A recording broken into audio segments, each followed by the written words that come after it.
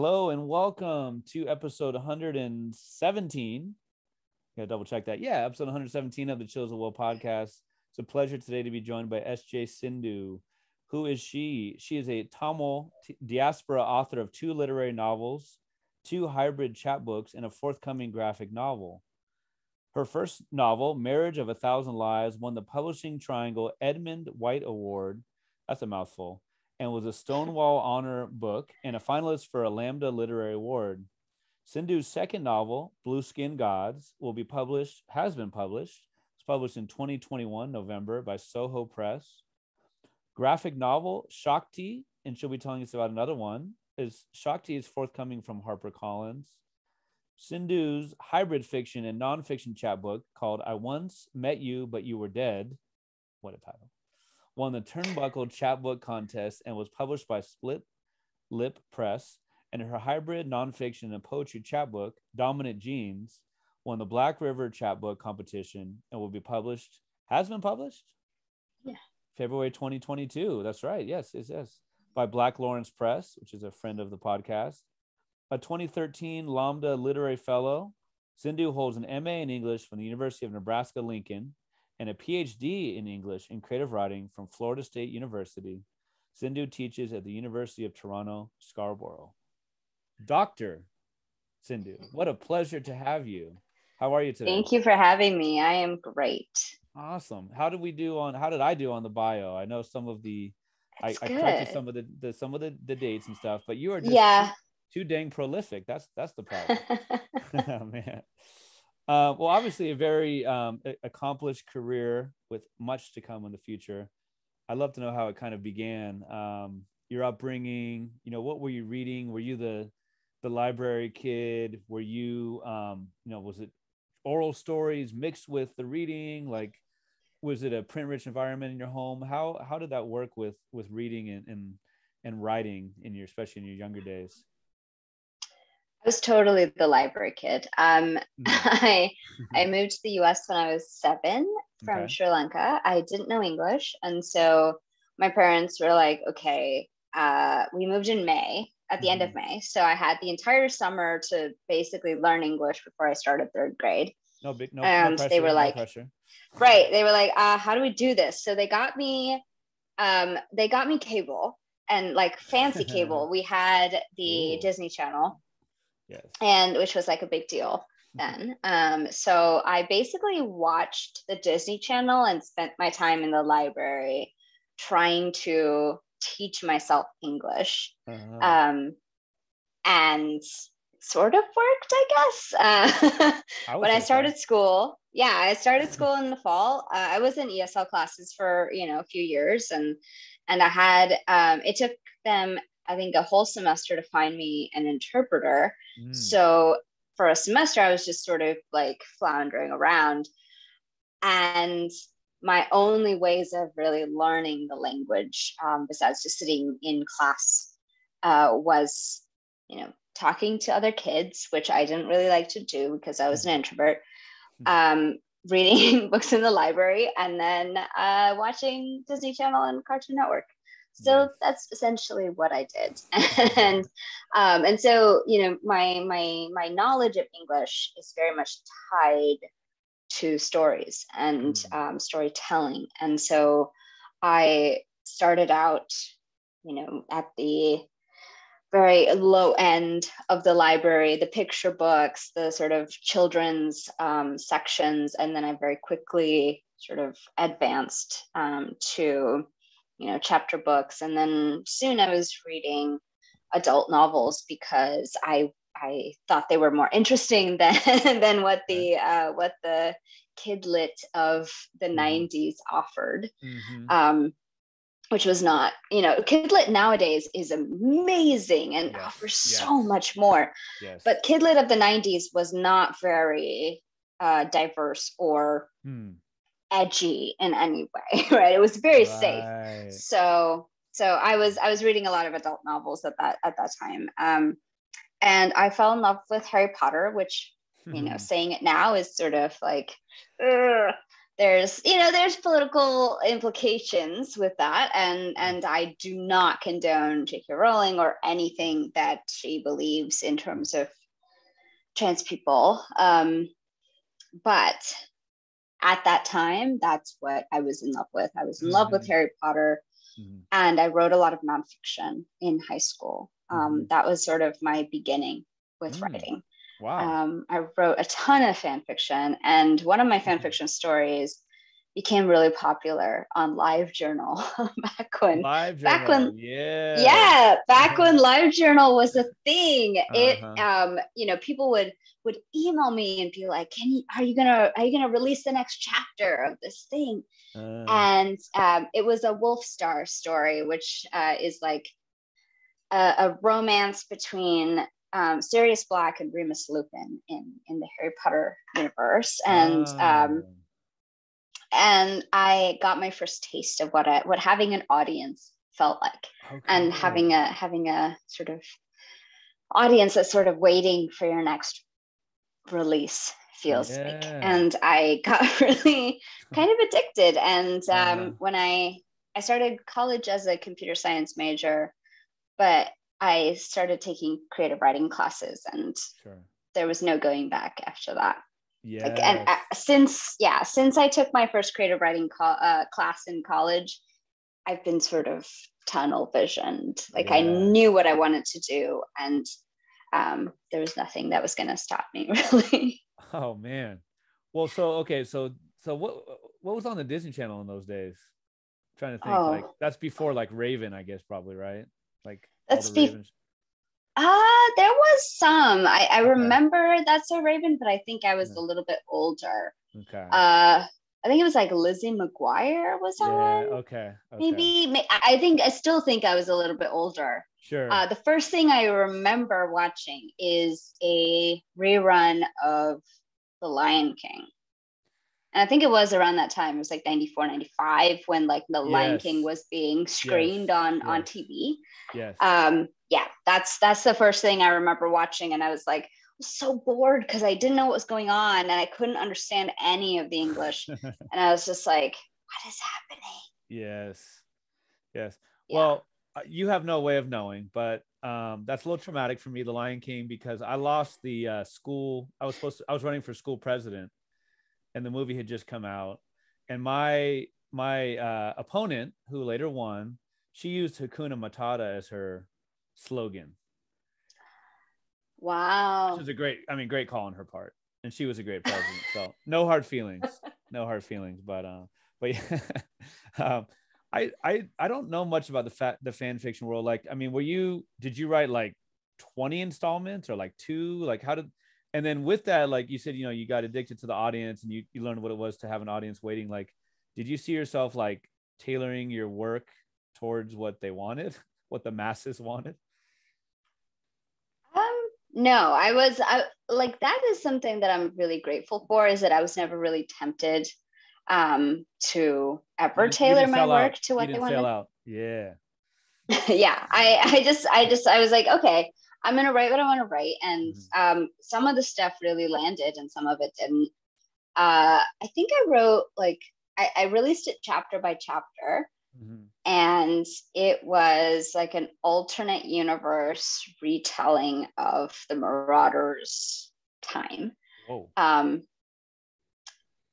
yeah, it, it, it, it, I, I think I had like, tw- yeah, 20 or so chapters. Okay. And I was only halfway through before I stopped. um, I just sort of abandoned it because I, I was getting serious about my writing in college. And I was like, sure. I, you know, once I went to college, and I started actually making friends and actually like going to parties and stuff, I, I completely stopped uh, updating yeah. my fan fiction. right. Well, no, does it, I mean, is it, is, is the fan fiction in the ether now or what could one find that? One could.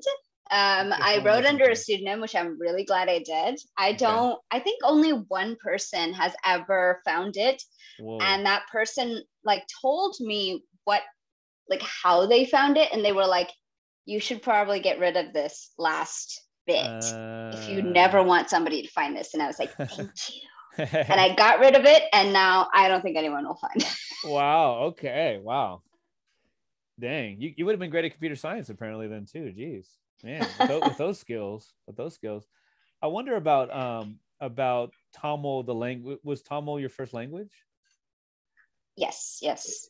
You know, I mean, does does is the language what stands out about Tamil maybe that helped you to become a great writer? Is it, you know, is it lyrical? Is it rep- repetitive is not the term, but you know, is there something, are there things about the language specifically that that lend themselves to writing or to or that even connect to English? I don't know.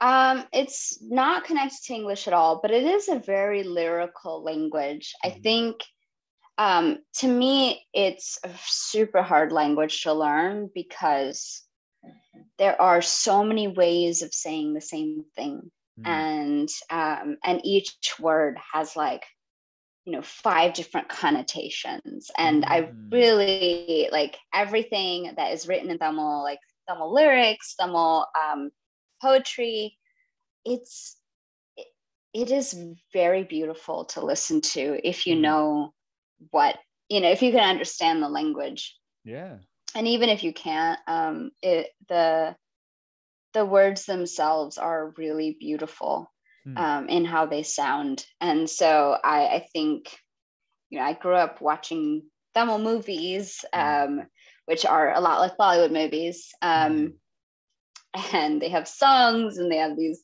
you know these super dramatic sort of uh, arcs and um, and and the Tamil language itself in the in the lyrics of the songs are I don't know I, I just I, I think it lends itself to poetry really well. Mm-hmm. Um, and then so uh, I was gonna ask you a follow up about that.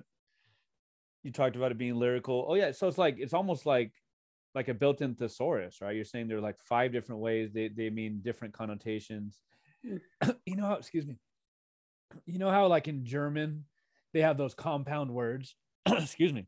Oh yes. Right, that are so ultra specific. I feel like maybe it's kind of like that, but that's interesting. You said so so the connotations are different, right? And I guess even like the way you say something could mean that it's sarcastic versus serious. I got to think that that made you, yeah, quite a quite a writer because it's just like okay, being very precise with your language. Right? Yeah, it's it's it's we don't have a lot of compound words, but we do have a lot of like um like many different words that mean similar things but very very slightly different uh-huh. like um like uh the word alupu is like it's not quite restlessness it's not mm. quite boredom mm. it's not quite ennui but it's like somewhere uh, in there uh-huh and it's like there there's different ways of um, of describing words like you know and and i mm-hmm. talk about this in the novel words like love um, have many many different words uh, for all the different yes, kinds yes, of yes, love that you can possibly right. feel mm-hmm. um, so so it's it's you know it's a very precise language oh that was a great really part of the book appreciate that's a great part of the book. Was that was that when the main character was still in in India, or was that when he moved to the states? That was when he um, finds his birth mother, and yes. he's sort of like ruminating uh-huh. on on the uh-huh. on the on the language and the word mother itself and and right. you know like figuring out trying to figure out how to like what to call her uh-huh even as even right even that word being used like as a verb that that scene, and we'll get to the book in a little bit, but that scene is uh is so good because it's not because like the lack of pop, the lack of emotion, right? It's it's not some Disney, you know, oh hey mom, I miss you all these years. It's it's realistic, it seems like, right? I mean, there's just so many barriers between them. I don't know barriers is the word, but but yeah, it's, it's not a love or hatred, it's just kind of a eh. Right. right. Um and so you know your the the book um, Blueskin Gods takes place in the state of Tamil Nadu. Am I pronouncing that correctly?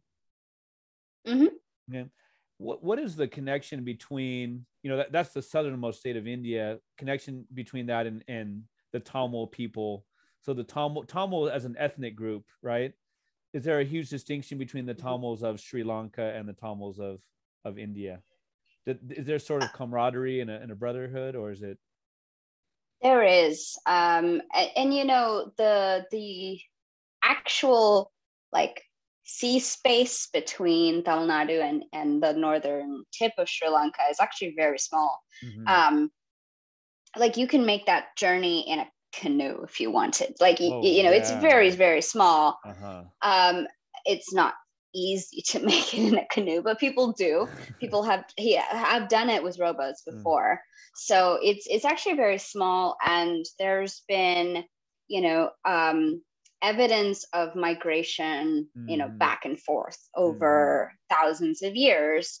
Uh, but the fact that um, the northern sort of Tamil population of Sri Lanka has been isolated, um, mm fairly isolated from Tamil Nadu for so long means that our dialect is different. Right, so right, our right. our language has sort of shifted and and mm grown apart we're still speaking Tamil and we can still sort of understand each other, but Sri Lankans, uh, Sri Lankan Tamil speak a, a, a I guess, more archaic version of mm, the language. Yeah. We, we, our, our intonation, our cadences, our, our pronunciation is much more um, classical. Right, right. And Tamil Nadu Tamils tend to have a lot more slang, a lot mm. more. Um, they have a sort of drawl that is sort mm. of like a Texan drawl with English. they like they like squeeze out the vowels a little bit and okay. they like draw them out, and it's uh. it's really interesting to me. Wow. Um, and they and they have uh, like we'll have two different words that we use for the same thing. Sure. Um, so that's that's it's really interesting to to compare. Um, but I think, you know, Tamil movies use Indian Tamil. And okay. so, like, I feel like Sri Lankans can often understand Indian Tamil, but uh, Indians often can't understand the other way around Sri Lankan yeah. Tamil. Yeah, because uh, because ours is a little bit more classical and a little bit closer to written like formal Tamil. Okay. So again, language hipsters, right? yes. I was that's that's so interesting, right? Like like this idea of like a, almost like a preserved language. Yeah. You know, like the like the Turkish Cypriots on the, the island of, of mm-hmm. Cyprus, right? They're maybe speaking a the original Turkish, maybe, or you know, mm-hmm. that hasn't, uh, or you know, like like Albanians in Italy and you know, all over the world. That's so interesting. Wow. Um, go back to what you were reading as a kid, Harry Potter, and you know, like you said, that reminds me of that great saying something about I think it applies to racism and all kinds of isms, but it's like, why be racist when you can just be quiet? J.K. Rowling, right? Why be transphobic when you could just not say anything? Just you know. Mm-hmm. um, but is there? Am I playing like the armchair psychologist, or is there something about like an escape and a fantasy in reading? You know, being uh, new to the language, new to the culture, especially when you're seven, eight, nine years old this idea of like reading as as a refuge or a, an escape not that you know not that sound like not that things were horrible for you but just like you know these are these are some these are things that i know friends this is a, an escape. I wonder if that's true to life for you. Yeah i think it was. I um i didn't i mean i was not the best uh, at making friends um, in my youth. And and i think like you know having a um, or sort of challenge in like knowing written english really well but not being able mm. to yeah. sort of pronounce all the words because uh, when you read a word when you learn a word through reading you don't know how to pronounce it so you just sort of pronounce it in your head yes and that doesn't lend itself to like friend making. you don't know any of the slang, you don't know any of the but like the the right. fun pop culture or anything. You're like mm-hmm. this bookish nerd, which somehow now is like a popular thing, which is sort of bizarre yeah, to me because I, yeah. you know, I grew up I uh yeah, growing up in the 90s, that was not a thing. If you were a nerd, you were an outsider. and there was no cool points uh, afforded to you as a nerd. No. Um, yeah. so it it was it was an escape.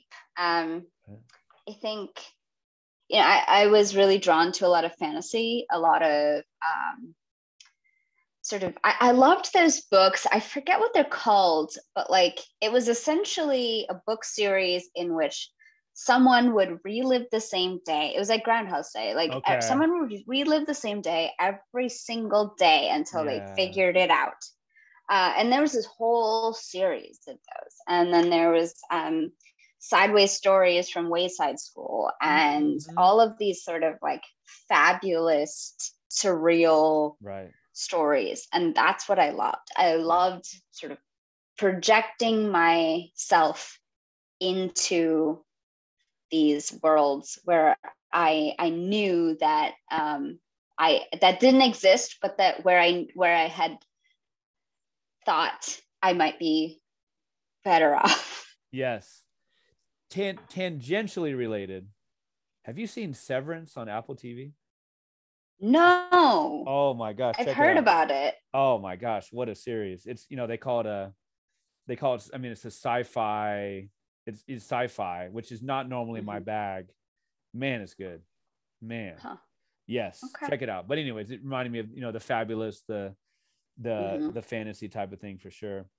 Um, did you could you have articulated? I'm kind of skipping ahead. I didn't I'm not, even asking the question first, but the question is, did you did you feel a representation? Did you feel like you saw yourself in what you read growing up? in you know again in all the different no no period no. No, no, no comma no, no period, uh well no semicolon maybe i don't know um no M i or m dash yeah no m dash um i i definitely saw uh sort of spunky feisty okay. um female protagonists which hmm. was really important to me um, there was a series about Cam, uh, who was who was hmm. a like an I don't know, probably 12 year old detective oh, um familiar, yeah. who like had a photographic memory. So like mm. all of the cases would involve some sort of um Cam's remembering of photographic oh, memory. Oh, I get it, Cam. yeah, yeah. I get it. Yeah. Clever. yeah. um but like it was those kinds of things that that really interested me like i loved hermione from mm. harry potter i just mm. I, I was like to see women being able to sort of project themselves out of the expectations that were mm. held for them was amazing okay. um but at the same time like there were no brown people in these in these stories um mm there was definitely no South Asian representation mm. at all.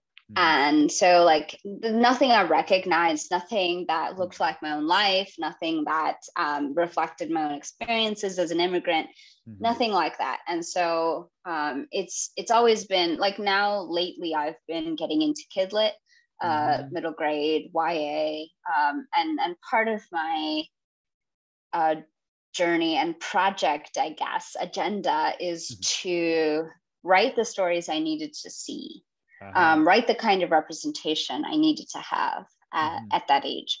Mm-hmm. And I wish that I had had at that age. Um, and and I think, yeah, it did, definitely didn't exist in the 90s. Yeah. So, um, I mean, I got to assume that's some some motivation to i mean as great as the work you do is like blue skin Gods that's you know more for the adults right so i got to that's probably been some motivation to write for younger readers because it's like all right if we don't get whatever the 12 the 16 year old they may not become a 35 year old reader right is that kind mm-hmm. of fa- fair to say yeah um, i think if you if you don't provide mirrors when people are young mm-hmm. they're not going to trust um, the literary experience as yeah. they grow older. Yeah. Oh man, those great those great quotes about the mirrors and the windows, you know, with reading. That's awesome.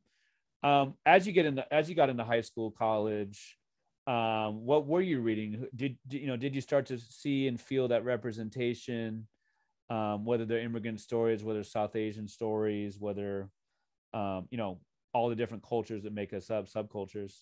Who who really uh, thrilled you as you got into high school and college and inspired you? Uh, in high school, I read um, one of the very first sort of South Asian novels that came across my my um, purview, I guess. Hmm. It was uh, called Born Confused by okay. Tanuja Desai Hidier. And it was a YA sort of romance novel, but um, it was I had never I had never seen something like that before. Mm. Um, and it's still like Born Confused is still, I think, one of the first representations that that really broke through the publishing barrier um, mm. and and and and gave us the kind of sort of South Asian American experience uh-huh. um, in a novel where we got to we got to be the main character, and that was amazing. Uh. Um, the other one was like Interpreter of Maladies by Jhumpa Lahiri won the Pulitzer Prize. Uh, it was, it was at right. that time, it was, a decent, it was a decent book. Yeah, it was, it was um, when I was in high school, and I was like, "Oh, wow, okay." So we're real like there's there's starting to there's a sea change happening, mm-hmm. um, and I started to realize that that um, people the, the publishing industry was paying attention to south asian voices for maybe the first time mm. and i also started to think in you know my senior year that maybe i wanted to contribute to that oh wow so what was the moment or moments what were the eureka moments where you're like you know was was it the fanfic was it something in a in a in a workshop you you talk about those um you know, like going into writing in college. And man, we all remember those workshops, right? Those could be nerve wracking, but also like incredible victories, you know. So, so yeah, I mean, what what was it, or was there a moment or moments where you're just like, okay, I can do this for a living. People dig my work. I think there were several. There was definitely the um, the time in in 12th grade when uh, I read Tim O'Brien's The Things They Carried, and I realized that, you know, I could maybe write about war because I was, mm. you know, my my childhood was spent, my early childhood was spent in the Sri Lankan Civil War, and I was like, mm. okay, I don't know how to make sense of these experiences, mm-hmm. and having the things I left or um, the things I carried right. as a model for how to write about war was really important to me. I was like, oh, wow, I've never seen such a lyrical, mm-hmm. nuanced, beautiful, complex uh, reflection on what war is. Mm-hmm. And I was like, okay, maybe I could do this. And then um, in college, I took a writing workshop with um, the writer Timothy Schaffert. And uh, we were in a basement, in a windowless basement room. Um, it was a night class, and I like I, I knew then sitting in that class that that I, that's what I wanted. Mm. I wanted it so badly. I was mm-hmm. like, okay, here's a writer who is making it work. I mean, he's queer, he's in Nebraska, and he's like writing these books and and he's a full-time writer at this point and he's um you know very soft-spoken like very kindly but very like astute in his feedback mm-hmm. and i had never had that kind of attention paid to my work before yeah. and i was like okay this is it this is what i'm going to do mm. i can see my future and this is it did you hold a press so conference? if you talk about her huh did you hold a press conference? yeah, well, if you're ta- well, I did. I I told I told my um because I was in a I was in this honors sort of computer science business mm-hmm. management program where you like it was like this whole deal and we had to like talk to people to actually get out of it and uh, so ah. yeah it was sort of i had to like go through all these steps and i had to inform my parents yeah. and um, that was that did not go very well. Um, so yeah, it was it was a whole ordeal. well, well, where did the how did the encouragement keep coming? Was it mostly you know self was it mostly self motivation for a while? Um, you know, how did you how did you keep going when it was difficult? You had to change majors. You had to maybe maybe you displeased a couple people. How did how did you keep going with it? You know, what were maybe some of the early publications too, that kind of thing? Um, it was mostly professors actually mm-hmm. uh, i had a lot of self-doubt i didn't really know what i was doing um, and in high school i had uh, i took environmental science and uh, we went to this um, this swamp as a mm-hmm. field trip and we had to write field journals and i wrote this field journal and i turned it in and my environmental science uh, teacher who it was ap environmental science in 12th grade and he was like his only response was you should consider being a writer mm. and i was like oh interesting okay i i hmm. i i really for some reason that really sort of lodged itself in my brain mm-hmm. um, and then you know tim Schaffert with whom i took that class and almost every writing professor i had at the university of nebraska was so so uh, encouraging that's cool um, oh. they they just were like you you can make it mm-hmm. you can do it if you wanted to mm-hmm. why don't you do it hmm. and i was like okay maybe okay all right fine. I i, I think i can do it. Um, so it was really just my professors who who were very very um, not just encouraging but also like very supportive. And yeah. they lent me their time and they read my work outside of class hours. And yeah they were just really really generous. Wow very cool how did how did the the you know i guess the fairly short writing how did that you know turn into to books? And and you know i'd love to hear about marriage of a thousand lies which was you know which was heavily awarded. It wasn't like some like ah my first book is thrown out in the world. Like it it got a lot of praise. Um you know what was kind of like the the genesis of marriage of a thousand lies I it started off as a short story. Um, I was in I was starting my master's program at the University of Nebraska, and I was like, okay, I don't really know what I'm doing. I was like 20 years old, and I really had no idea. Mm-hmm. Um, and so I was like, okay, let's just take this class and it was a it was a novel class with um, Jonis Agee, who's a, a very accomplished novelist. Mm. And she was basically like, okay, take the short story, whatever short story has been has been sort of sort of still like has its claws in you okay. after you wrote it and make it into a novel. And I was like, okay, all right. Uh, there was a story that that kept bothering me after I wrote it. I was like, it just kept, it couldn't, I couldn't get it out of my head.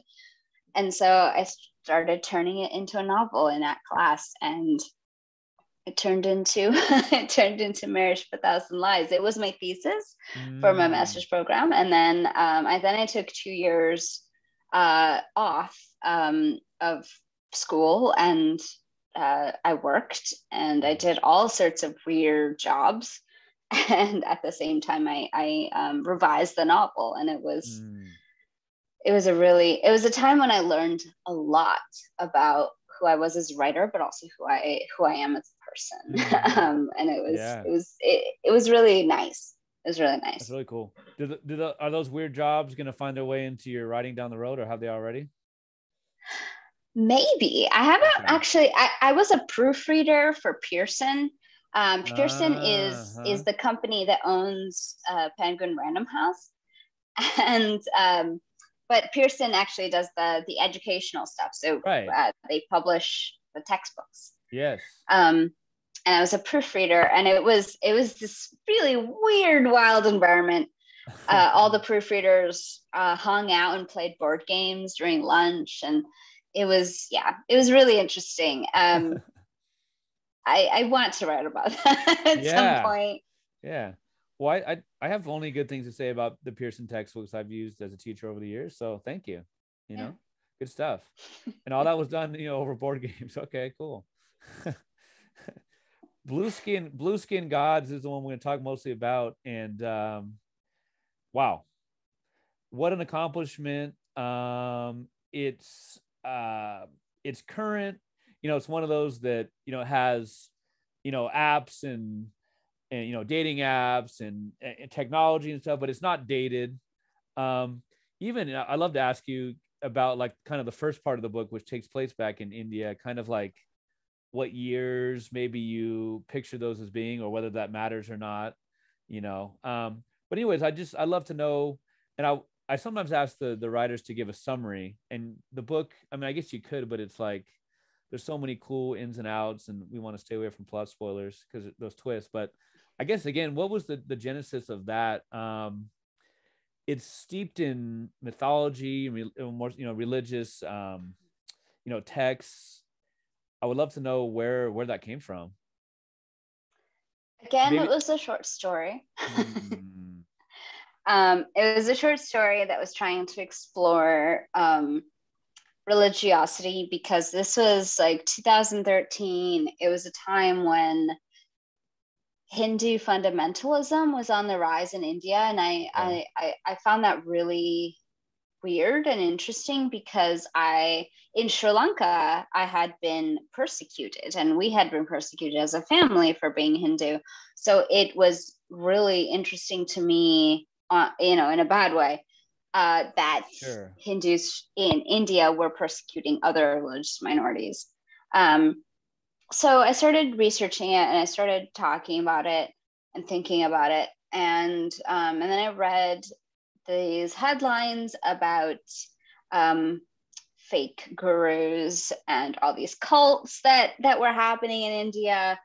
Uh, you know, Bikram yoga was a thing, oh, and yeah, like uh, there was just so many. And I saw some of my friends get like lured into some of the stuff, mm. and I really wanted to write about it. I really did. Mm. And so I, I wrote this short story um, that was sort of magical realist in that, you know, the, the instead of having blue skin, the central character grows wings. Uh, and once he grows wings, uh, there's this belief in his village that if you have a feather, if you're bestowed with a feather from mm. his wings, you will be healed of any ailment. Mm and at the end of the story spoiler whatever um, he this like mob sort of converges on him and plucks his wings. Um, they just like pluck you know keep plucking until he yeah. has no feathers anymore. Mm. and i loved that that sort of uh, uh, bringing together religiosity but also violence because i think those two are sometimes very intricately linked. Um, Sure. Yeah, so word, yeah, that's the word fanaticism, right? I mean, fanaticism. Yes. Can be yeah. That I was I was just rereading part of the book where um uh, just the just the idea of I, I think when uh when you know when his cousin leaves this idea of like that sadness that becomes in in the religious text became anger you know where like his dad was like mm-hmm. hey stop crying and he's like well that would that happened in the text too and it was was often a you know huge smoldering anger. Now he mm-hmm. probably would have been sued by the Marquez estate though, right? Maybe Gabriel Garcia Marquez estate might have sued. I mean, I mean, like he doesn't own the wings, right? Right. Right. In, right. So exactly. You're right. You're right. I'm, I'm just kidding. Um, would would the would somebody would somebody who read has read Blue Skin Gods recognize that? Like, did that like directly go into the book, even though it wasn't the wings, or was it like you just no, no, kind of general idea? I just, I really just took the wings and only the wings from okay. from that story. Um, so I don't, I don't think so. I don't think okay. so. okay. Um, obviously, you know, it's called Blue Skin Gods, and blue is described in the book, and just in general knowledge is you know as being warm and flame, can also be cold, mm-hmm. right? Um, and I wonder about the title. Did the title come right away, or was it more like the events of the book and then the title came later? Which informed which? You know, I guess, or maybe both. It really, like, it really depends on the book. So, like, for this book, Blue Gods, I had the title before I even started writing. Okay. I knew what it was going to be called. Um, I, and like on the first draft, I put Blue Skin Gods. Uh, um, ah. Marriage of a Thousand Lies did not work that way. That was actually a title. It, it went through like five or six different titles. Whoa. and um, Marriage of a Thousand Lies was like the last title I slapped on it before I sent it to an agent. Mm. Honestly, like it was just, I was like, I need a title. They're probably going to change it later. I'll just put this on there. And then when they didn't change it later, I was kind of upset. I was like, oh no, this is the title. yeah. Oh man, it worked. It worked. Did um you know, obviously there's there's a lot of parallels of religious texts with the blue skin. We'll talk about in a second. I don't know how you pronounce it. The Fugate, the Fugati family, like in Kentucky. I think it's Fugates. Fugate. Okay.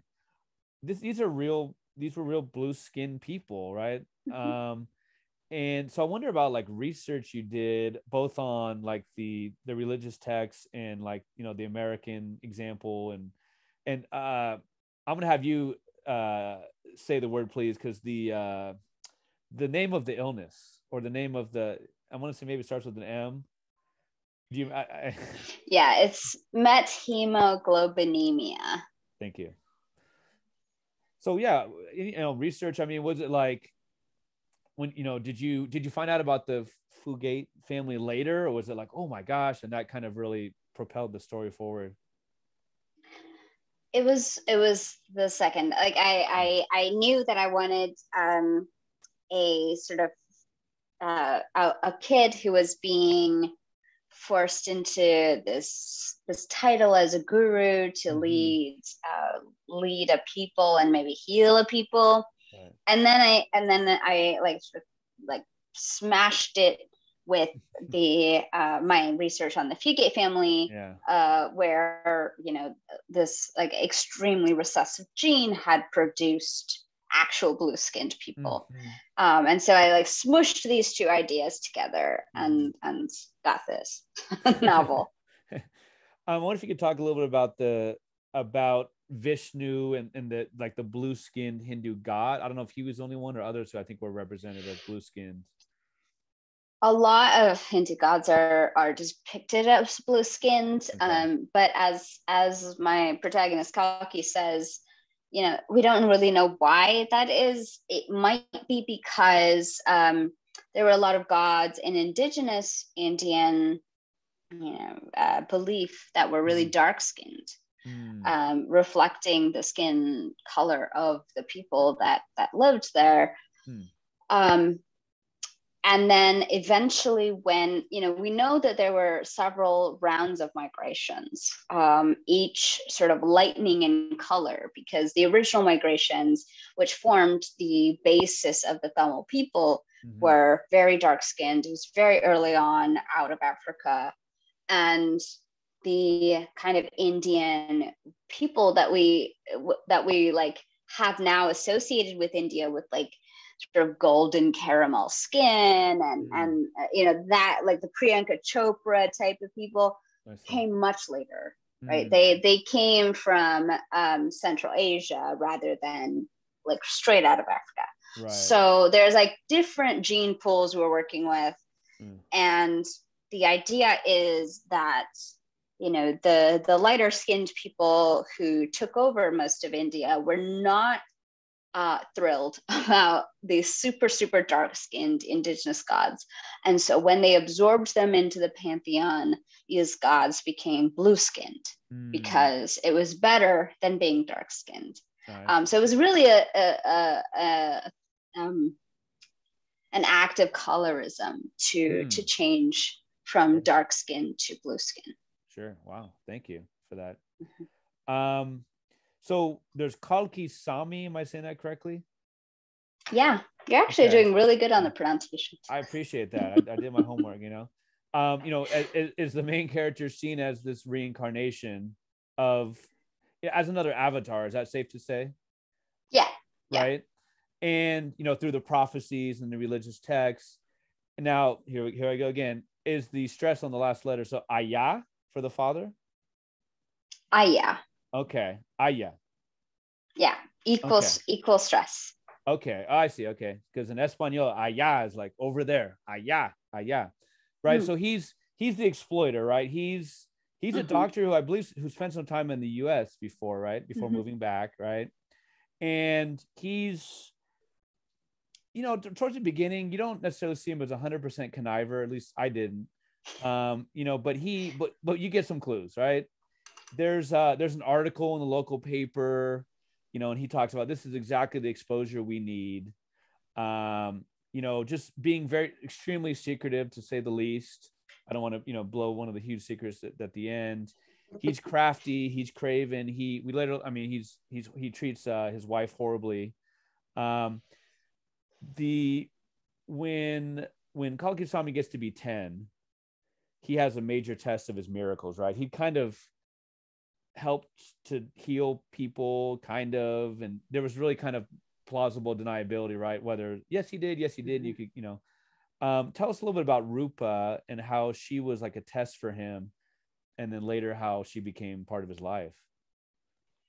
So, Kalki, when he's 10, he's supposed to get these three tests um, to prove that he is, in fact, the uh, second coming. I wrote the, I guess, the 10th coming of sure. Vishnu. Sure. And um, so Rupa is the first test. So she is a very sickly girl who is brought to the ashram where Kalki is, and and like you know the hospitals don't know what to do with her. The clinics, the doctors that they have seen, like can't fix her illness. She's basically whittling away. She's mm-hmm. sort of skin and bones when she meets Kalki. Um, and he is in charge of healing her. That's his first test. And so, like, he is this enormous burden on a 10 year old. Right. And he's, you know, he's trying everything he can think of. And mm-hmm. and there's something that goes a little bit awry with her healing in that um her her his aunt feeds her something while he's watching. Um, and then as soon as he feeds her something, she starts to get better. And so Kalki starts to doubt his own divinity. But then he has to, these two other tests that he needs to pass. And he mm-hmm. seems to pass the second test just fine. Um, the third test goes terribly. And he ends up, you know, losing part of his family. Um, but then like Rupa is given to the ashram, which is, which is a fairly normal practice for when you know somebody is healed in that kind of miraculous way okay. um, where she's sort of promised to the mm-hmm. ashram in the way that like young women were promised to uh, monasteries or nunneries in right, the past right, right. Um, so she's given to the ashram and she sort of grows up along with kalki and when, when he's a teenager he starts to fall in love with her um, and she becomes his his first love for sure. Um, and then so we have Lakshman. I, I call him the frenemy cousin. Uh, right. Uh, you know, they're they're kids together, they play fight.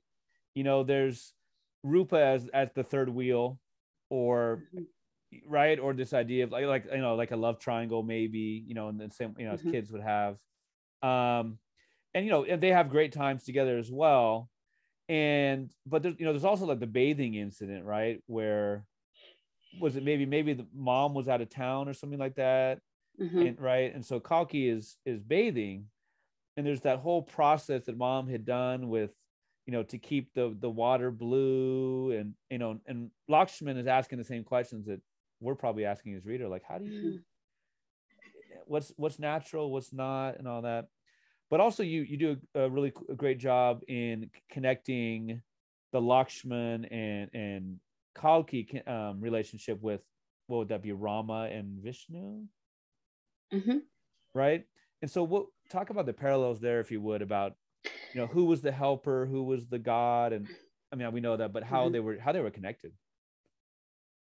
Yeah, it's uh, Rama and, and Lakshman. So Rama is the eighth incarnation or mm-hmm. seventh incarnation of Vishnu, and um, it is the the biggest like sort of. So he's the hero of the Ramayana, which is one of right. the big Sanskrit epics, and um, Ram's younger brother is named Lakshman, and he is like Ram's most most devoted brother Mm-hmm. He is the only brother who follows Ram into the woods after he is exiled from his kingdom. He's the only brother who's like you know, willing to wage war on behalf of Ram at the end. You know, there's only one instance in which they fight, and this comes up in the book as well.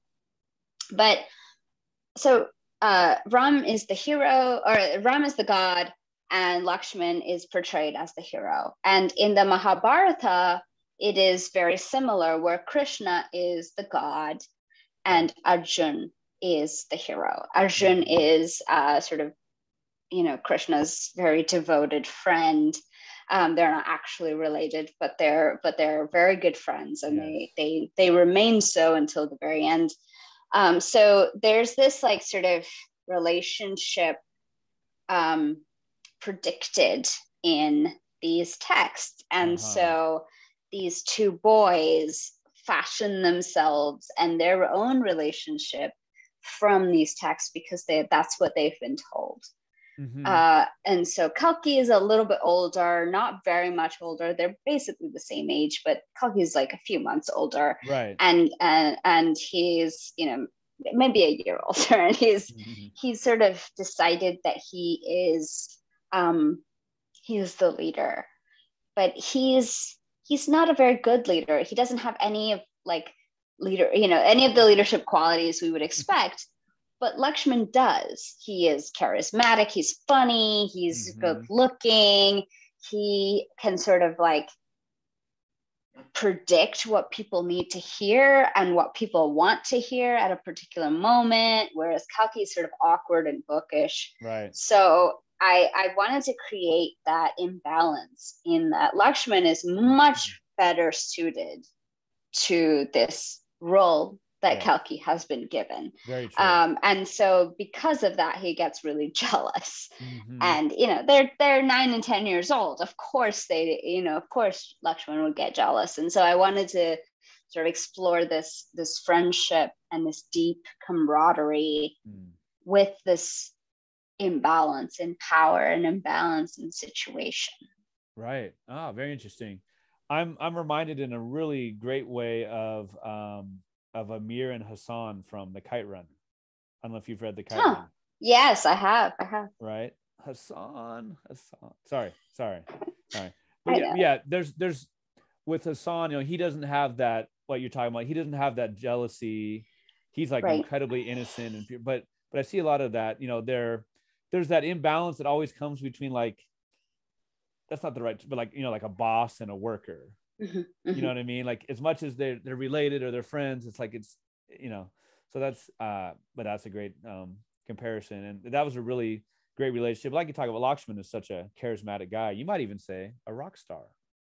We'll get to that, we'll get to that right? Um, such a cool narrative structure. The the flash forwards, the flashbacks. Um, man, I got that thrill when I was reading the book, and I was like, "Whoa, this was written by Kalki later as a professor." Like this, like he wrote this book, right? Mm-hmm. S.J. Sindu may be on the cover, but this is really, you know what I mean? um, and just like the fact that he was so much steeped in religion as a kid. Yes, it was a fake religion. Yes, it was cultish. Yes, it was, but he was so that was his life. And then in the end, he's really just disabuse disabuse of that notion. I don't think I've ever said that mm-hmm. that phrase in my life. that I use it right? Disabuse of the notion, you know, of religion is positive, right? Because religion mm-hmm. was obviously uh, was a very detrimental um, part of his life. But it's just so cool. Mm-hmm. I wonder how you were able to get in the mind of the 10, 15, 17 year old Kalki and also the, you know, whatever 40 year old or, you know, how much, however old he was as a professor. I, you know, I I lost my faith when I was fairly young. Um, mm. But I think for sure when by the time I was 16, 17, I was starting to like, okay, atheism. Mm-hmm. I want to research this because mm-hmm. I I think this is what I believe.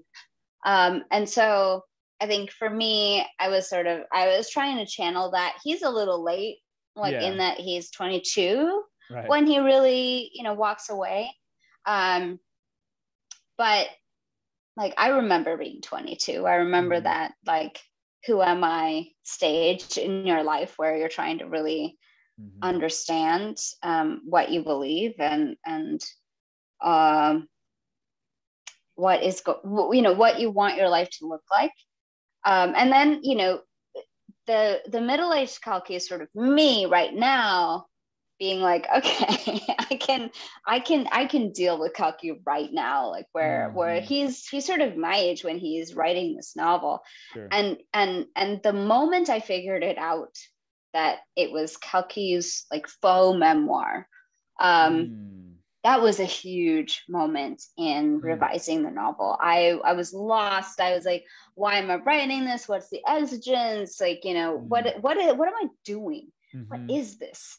Mm-hmm. And then, you know, we uh, my partner and I were on a hike in Cherokee, North Carolina, and I like walked onto the hiking path, and I was like, oh my god, it's a faux memoir. He Kalki is writing his own memoir, and that's mm. the book. Mm. And that changed everything. It changed everything. It it allowed me to return to the novel with a new um, with a new agenda revision. Okay. And that's that is what ended up becoming the final version.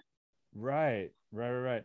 And so cool. So the um gosh dang it, I I, I always forget this term, but the idea what in this is Latin term, but you started in the middle in some ways, right?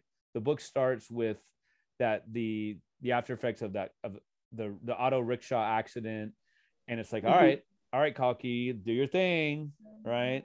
And you do such a good job of again of the back and forth, and that comes up again later in the book. I'm always a fan of that. Like, oh, okay, now this has a different meaning than it did at the beginning, right? But also just like getting inside the head of somebody who kind of believes that he's a god and can be pushed either way. And like you said, you know, he does okay on some of the miracles, even the ones where people don't help him out by giving them medicine. Like he kind of channels something and he's just kind of maybe like a positive energy, whatever. And it kind of mm-hmm. works, right? So it's just really well mm-hmm. done with the way that we go back and forth. And like I said, we get the different perspectives the middle aged Kalki, the young, um, and even the omniscient at times, right?